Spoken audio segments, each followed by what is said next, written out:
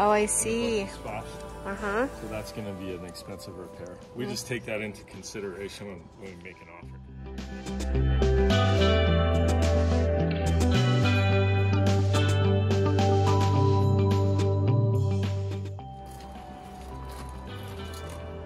So this is this is a gas line that's coming out of here, Okay. And there's a T. So part of it goes to the pool heater, And part of then it goes like to it the- goes into uh, Oh, they split it.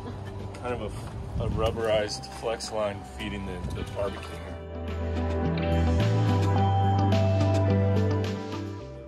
The fence line, most of it has been stuccoed.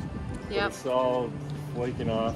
It's a little bit ragged in various places from the irrigation. Yeah. So we just make note of that because we can compensate uh, a little bit on the pricing.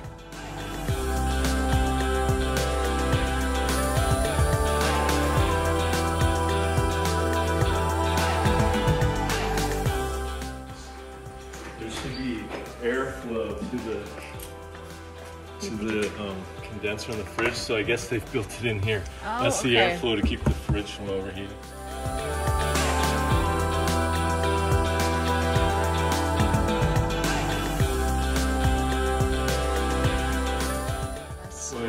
One item that's always going to show up as a safety issue on appraisals.